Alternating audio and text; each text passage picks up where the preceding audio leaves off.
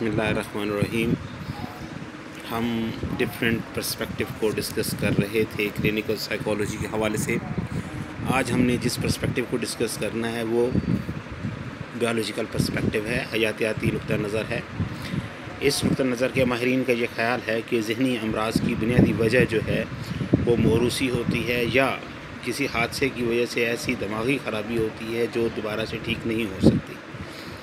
बाज़ात इंसान के अंदर मरूसी तौर पर जेनेटिक कॉन्स्टिट्यूशनल मेकअप के अंदर ऐसी ख़राबी पैदा हो जाती है, जो उसके उजवियाती निज़ाम में ख़राबी का सबब बनती है। इससे ऐसे अमराज जन्म लेते हैं, जो उसके जहनी अदम तोज़न को इंडिकेट करते हैं, उसको ज़ाहिर करते हैं। आम तौर पर जिस तरह मुख्तलिफ़ जिसमानी बीमारियाँ लाक होती हैं, इंसान को इसी तरह से इंसान को मुख्तलिफ़ दिमागी बीमारियाँ लाक होती हैं। इन दमागी बीमारियों की बुनियाद हयातियात को या उजवियाती ख़राबी को करार दे दिया गया है और ये नुक़ नज़र हयातियाती नुक़ नज़र है। इस नुक़ नज़र को सबसे पहले जो है वो इमाइल क्रेपलिन जो है उसने अपनी किताब के अंदर बयान किया था और उसने ये कहा था कि इंसानी दिमाग में ख़राबी की वजह से जहनी ख़राबियाँ या बीमारियाँ जो हैं वो जन्म लेती हैं।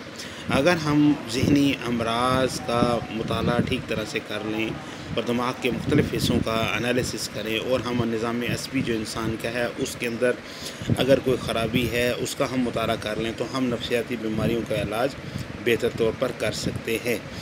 ये जो कंसेप्ट था, ये काफ़ी हद तक अप्रिशिएट किया गया और काफ़ी हद तक इससे हवा, इसके हवाले से शवाद इकट्ठे किए गए, जिन्हें बाद में तहकीक़ात के ज़रिए से साबित भी किया गया कि इंसान के वकूफ़ी अमाल और उसकी वकूफ़ी सलाहियतें जो हैं वो बसा अवकात इस तरह से ख़राब होती हैं कि कोई बायोलॉजिकल डिस्टर्बेंस जो है वो उनका, उनकी सबब जो है वो बनती है। मिसाल के तौर पर हम आम तौर पर देखते हैं कि एक शख्स जो बहुत ज़्यादा घूमने फिरने का शौकीन है, बहुत ज़्यादा सोशल है, बहुत ज़्यादा एक्टिव है। खुदा नखास्ता किसी हादसे की वजह से अगर वो अपने कोई टांग बाजू वगैरह जो है वो खो बैठता है और उसके बाद उसके लिए सोशल मूवमेंट करना आसान नहीं रहता तो वो काफ़ी अर्से तक बेड पर रहने की वजह से अजीब चिड़चिड़पन और बेबसी और मायूसी का शिकार हो जाता है और ये चीज़ उसके अंदर एबनॉर्मेलिटी पैदा करती है और ये एबनॉर्मेलिटी जो है वो साइकोलॉजिकल नोयत की है, जिसकी बुनियाद जो है वो बायोलॉजिकल डिस्टर्बेंस जो है वो बनी है। इस तरह से किसी हादसे के अंदर अगर सर पे कोई ऐसी चोट आ जाए, जिसकी वजह से इंसान के सोचने, समझने की सलाहियत मुतासर हो जाए तो भी ये चीज़ मुमकिन होती है कि इंसान के अंदर एबनॉर्मेलिटी जो डेवलप हो जाए। इसके अलावा अगर at the time of the birth जो है वो मदर को प्रॉपरली ऑक्सीजन प्रोवाइड नहीं की जाती तो बाज़ात बच्चे जो होते हैं वो एबनॉर्मल जो है वो एबनॉर्मेलिटीज़ के साथ पैदा होते हैं। इसके अलावा प्रॉपर खुराक ना दी जाए माँ को माँ को प्रॉपर माहौल में ना रखा जाए या आ, उसके उसको वो मुख्तलिफ़ किस्म की ड्रग्स को इस्तेमाल करती है ड्यूरिंग प्रेगनेंसी तो उसकी वजह से भी ए, बच्चा जो होता है वो इफ़ेक्ट हो सकता है। तो ये तमाम बायोलॉजिकल काजेज़ हैं जो कि किसी भी फ़र्द के अंदर जो है वो नफसियाती बीमारी का सबब जो है वो बन सकते हैं या दिमागी ख़राबी का सबब बन सकते हैं। ताहम ऐसी तमाम दिमागी बीमारियाँ जो कि किसी ऐसी बायोलॉजिकल प्रॉब्लम की वजह से लाक होती हैं, जिन्हें हम मेडिकली ट्रीट कर सकते हैं। तो अगर हम अद्वियात की मदद से उनकी ट्रीटमेंट करें तो हम उन मरीज़ों को नॉर्मलाइज कर सकते हैं। उनके बायोलॉजिकल जो इम्बेलेंसिंग स्टेट है अदम तोज़न की कैफियत है, उसको नॉर्मलाइज करने के बाद उनकी अलामत को दूर कर सकते हैं। उन वजूहत को ख़त्म कर सकते हैं जो उसके अंदर बीमारी की सबब बन रही थी। उसके बाद हम फ़र्द को नॉर्मल ज़िंदगी की तरफ़ ला सकते हैं। लेकिन वो तमाम मरीज़ जो कि जेनेटिक कॉन्स्टिट्यूशनल मेकअप की वजह से डिस्टर्ब हुए हुए हैं, उनके लिए इस नॉर्मलाइज होना जो है वो तकरीबन नामुमकिन है, चूँकि उनका मुकम्मल सेटअप जो है वो एबनॉर्मल तख्लीक हो चुका होता है। तो ये हमारे पास मुख्तलिफ़ पर्सपेक्टिव थे जो मैंने आपको बताए हैं। हमारे पास लास्ट जो हमने आज पढ़ा वो बायोलॉजिकल पर्सपेक्टिव था। इससे पहले वाले में किरदारी नुक़ नज़र को या बिहेवियरल पर्सपेक्टिव को हमने देखा था। उससे पहले हमने किरदारी और वकूफ़ी नुक़ नज़र जो है, यानी कोगनेटिव बिहेवियरल कॉन्सेप्ट जो है, उसको देखा था। उससे पहले हमने ह्यूमनिस्टिक जो है, इंसानियत पसंद मकतबा फ़िक्र जो है, उसके नज़रिए को देखा था। और सबसे पहले मैंने आपको फ्राइड का नफसी जो है वो नज़रिया जो है वो बताया था साइकोडायनमिक कंसेप्ट जो है वो क्लिनिकल साइकोलॉजी को किस तरह से एक्सप्लेन करता है। तो ये तमाम के तमाम मुख्तलिफ़ नुक़ नज़र हैं जो कि हमें क्लिनिकल साइकोलॉजी के हवाले से मदद करते हैं उसको अंडरस्टैंड करने के लिए। नेक्स्ट हमारे पास जो टॉपिक आता है, वो आता है कि हम नफसियाती पैमाइश किस तरह से करते हैं।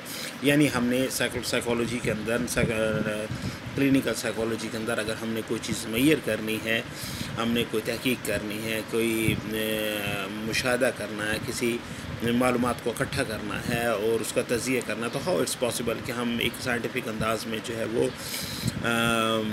एक नफसियाती पमाइश करने में कामयाब होते हैं। अक्सर में नफसियाती पमाइश एक ऐसा अमल है जिसके ज़रिए से हम एक मनज़म अंदाज में फ़र्ज़ से मालूम हासिल करते हैं और उसके माहौल के हवाले से जो चीज़ें उस पर असरअंदाज हो रही होती हैं, उनका तजिया किया जाता है। और फिर उन्हीं मालूम की रोशनी में उसकी बीमारी की वजूहत को तलाश किया जाता है ताकि उसको प्रॉपरली ट्रीट जो है वो किया जा सके। इसमें फ़र्द की ज़ात किस तरह से माशरे के अंदर इंटरेक्ट कर रही है और फ़र्द जो है वो अपने ज़ात के हवाले से किन, की, किस किस्म की परेशानियों या टेंशन का शिकार हो गया है माशरा उस पर किस तरह से नेगेटिवली इम्पेक्ट अपना डाल रहा है, या माशरे के इम्पेक्ट को वो किस तरह से नेगेटिवली ले रहा है, ये तमाम की तमाम चीज़ें जो हैं इनको स्टडी किया जाता है, क्योंकि यही वो तमाम चीज़ें होती हैं जो उसके अंदर नफसियाती मसाइल जो हैं उनको बनाने में मददगार या मर्ज करने में मददगार साबित हो रही होती हैं। हमारे पास नफसियाती नुमाइश के मुख्तलिफ़ मराहल हैं, हम स्टेप वाइज उन तमाम मराहल को देखेंगे। तो हमें पता चलेगा कि नफसियाती नफसियाती नुमाइश किस तरह से मुमकिन होती है। देखिए सबसे पहली चीज़ ये होती है कि मरीज़ जो होता है, उसको मालज के पास लाया जाता है। मरीज़ को मालिक के पास जो लोग लेकर आते हैं वो मरीज़ के खैर ख्वाह होते हैं उनमें फैमिली मेंबर शामिल होते हैं वालदेन होते हैं या फिर कोई फिजिशियन या डॉक्टर रिकमेंड करता है तो मरीज़ जो है वो क्लिनिकल साइकोलॉजिस्ट के पास आता है। तो सबसे पहली चीज़ जो है वो मरीज़ को आ, किसी मालिज के पास लेकर जाना होता है। इस परस्पेक्टिव में कि उसके जहन में ये चीज़ हो कि उसके इलाज के लिए जो है वो ये सारी एफर्ट्स की जा रही हैं। उसके हवाले से कुछ सवाल साइकोलॉजिस्ट तरतीब देता है जो मरीज़ के लवाकिन से वो पूछता है। दूसरे दर्जे पर माहिर मौलज नफ्सियात जो है मौजाती नफ्सियात जो है वो मरीज़ की मालूम को हासिल करने के बाद कुछ मकासद तयन करता है। जहाँ पर मकासद से क्या मुराद है? या मकासद से मुराद ये होता है कि वो पूरा एक मैप आउट करता है, एक पैटर्न सेट करता है कि किस तरह से फ़र्ज़ जो है उसको, उसकी ट्रीटमेंट जो है वो करनी है। तीसरे दर्जे पर जो मालूम इकट्ठी की जाती हैं, उनकी जाँच पड़ताल की जाती है। ये चीज़ देखा जाता है कि क्या जो मालूम दी गई हैं, वो दुरुस्त हैं या गलत हैं। जब तक हमें साइकोलॉजिस्ट को इस चीज़ का इल्म नहीं होता कि जो मालूम दी गई हैं, वो बिल्कुल दुरुस्त हैं और वो वाकई ही उस मरीज़ की बीमारी के मतलब ही हैं और उसे मैच कर रही हैं, तब तक वो अपना थ्योपेटिक प्रोसीजर जो है, उसको स्टार्ट नहीं करता। इलाज के तरीके को स्टार्ट नहीं करता।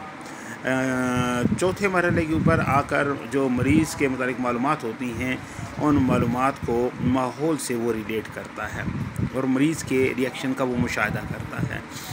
वो ये देखता चला जाता है कि मुआशरा किस तरह से मरीज़ के साथ रिएक्ट कर रहा था और मरीज़ जो है उसका रिएक्शन मुआशरे के मतलब क्या था।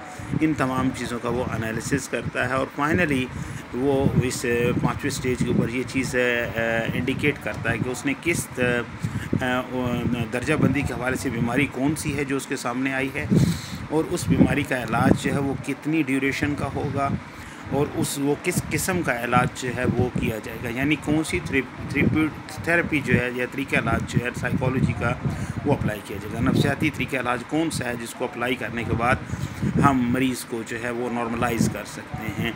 उसकी बीमारी को देखा गया, उसको डायग्नोज़ किया गया, उसकी क्लासिफिकेशन के अंदर उसकी दर्जाबंदी देखी गई कि वो खफीफ जहनी अमराज में जा रहा है, शदीद जहनी अमराज में जा रहा है। उसके बाद उस मर्ज़ के मुतालिक किस किस्म का तरीका इलाज है वो अप्लाई किया जाएगा, उस तरीके इलाज पर कितना खर्चा आएगा, उस तरीके इलाज के दौरान मरीज़ के साथ किस किस्म का रवैया रखा जाएगा, उसमें सख्ती भी की जाती है बिहेवियर टेक्निक्स के अंदर कुछ ऐसी बिहेवियर थेरेपी के अंदर कुछ ऐसी टेक्निक्स हैं जिनमें इलेक्ट्रिक शॉक्स भी दिए जाते हैं और सख्तियाँ भी की जाती हैं। तो ये तमाम सेट पैटर्न जो होता है, ये एक माहे की सूरत में लवाकिन के साथ तय पा जाता है और फिर जितने अखराज पूरे आ रहे होते हैं, इस तरीक़ाकार के ऊपर, तरीक़ा इलाज के ऊपर उनको भी तय कर लिया जाता है।